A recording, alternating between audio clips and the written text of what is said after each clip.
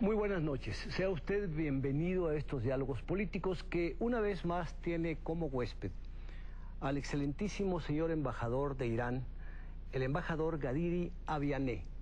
Él, usted quizás si nos acompaña desde hace algún tiempo, usted quizás lo recuerde, fue nuestro huésped hace casi justamente dos años. Eh, y es un placer tenerlo aquí nuevamente, embajador. En el nombre de Dios clemente y misericordioso, es un placer para mí. Sí, tenía usted en aquel entonces unos cuantos meses de haber llegado a México. Sí, poco, pocos meses. Como ha dicho, casi cuatro o cinco meses. Pero en, el tiempo participé en su programa con traductor. Ahora hablo yo. No solamente eso, yo recuerdo bien que, como usted dice, necesitamos un traductor que nos hiciera favor de eh, trasladar nuestras, nuestro español y, su persa al español, en fin. Pero me sorprende porque en cuestión de dos años usted aprendió un nuevo idioma, que es el español. Sí, yo siempre desde este inicio intenté de hablar español, todavía hablo español, pero eh, otros no lo intenten es su problema. Pero yo no he aprendido de dos años a la fecha una sola palabra de persa. Sí. Entonces tiene usted una ventaja completa. Eh, yo digo siempre por chiste a mis amigos que, hacen como traductor, digo traductor es traidor, porque no siempre traduce. Claro.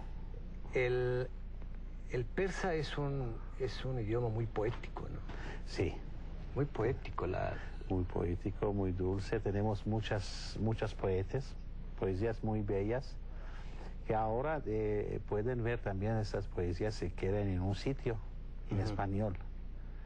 Tenemos un sitio www.libros.ir, IR es Irán que están todos libros sobre Irán e Islam en español. Pueden descargar todo gratis, también poesía sobre literatura, historia. El, Islam se, se hizo la, la, religión del pueblo persa en las grandes, en el gran avance del Islam en el mundo. Cierto.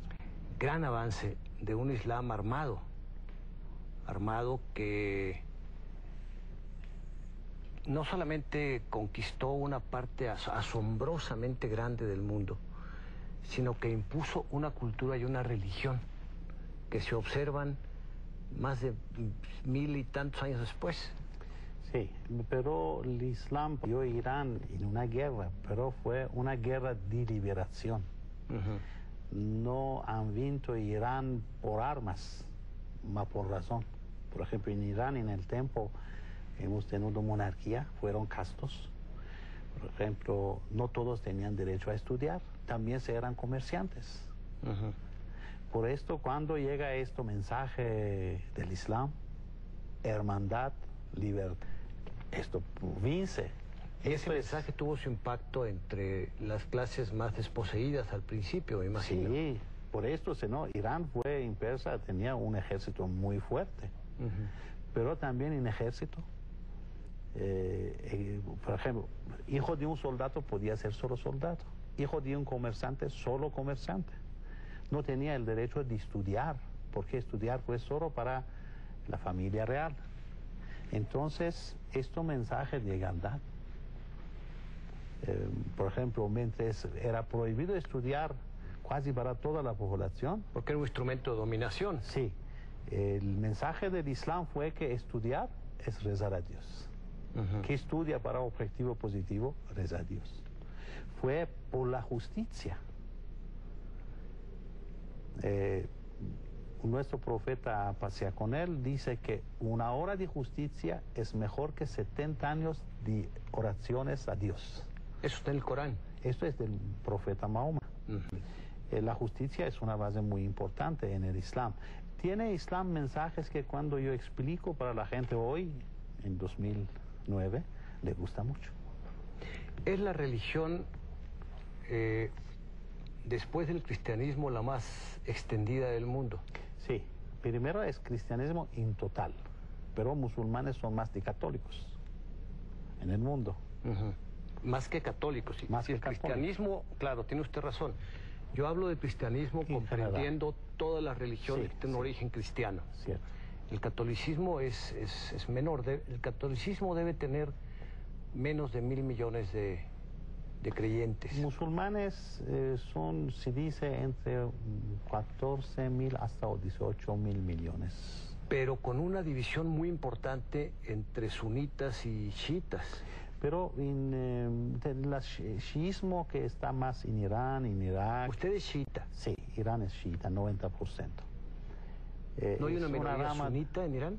Tenemos minoría sunita pero eh, todos creen en el mismo Dios, que es único en el Islam, creen en Mahoma, Muhammad, profeta del Islam, y creen en Corán como el libro sagrado islámico. Entonces, en esto... ¿Con la misma interpretación en toda la lectura del Corán? De, eh, interpretación cada quien puede tener, también entre sonitas o chiitas, de una palabra, ¿no?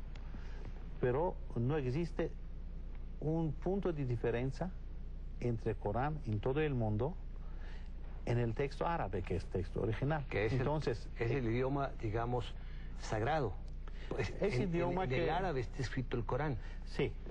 Eh, llegó Corán en árabe.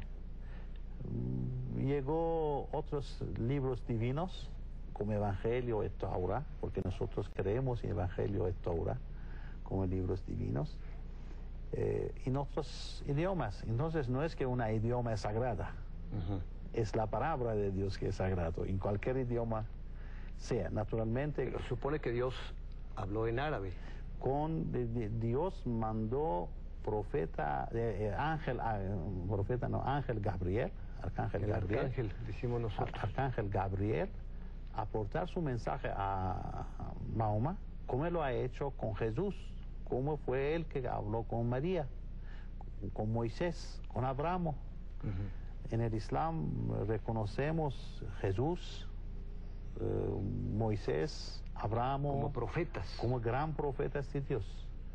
Aquí, por ejemplo, en México y en todo el mundo occidental, no saben que una sección del Corán se llama María. María es santa, pura y virgen. Y reconocemos en, Islam, en Corán más milagros para María y Jesús que en la Biblia. Entonces son personas muy sagradas, según Corán. Eh, Jesús no tenía padre, nació por un milagro, eh, pero lo consideramos un gran profeta, no hijo de Dios. Dios no tiene hijos, según Islam Dios es único. Y el Corán dice la creación de Jesús fue como la creación de Adán. Dios dijo sea y fue. En efecto, Adán y Eva eh, no tenían padres. Es un libro. Somos las religiones del libro. Cierto, cierto. Pero nosotros creemos en justicia divina. Creemos que existe otro mundo, día de juicio final. Existe paraíso e infierno. No es justo mandar la gente al infierno sin antes enseñar. Como no es justo rechazar a un estudiante eh, sin, preguntando cosas que no han enseñado durante el curso. Entonces, creemos que mandar profetas da parte de Dios es parte de la justicia divina. ¿Qué son profetas? A Noé, Abraham, Moisés, Jesús y Mahoma y muchos otros, como Jacobo, Ismael, Isaac, eh, Job, Islam reconoce estos. son, los, mismos, son los quienes pueblan, quienes habitan el Corán, son los mismos que habitan la Biblia en una gran medida. Sí, según cuando el Corán habla de religión, no dice religiones,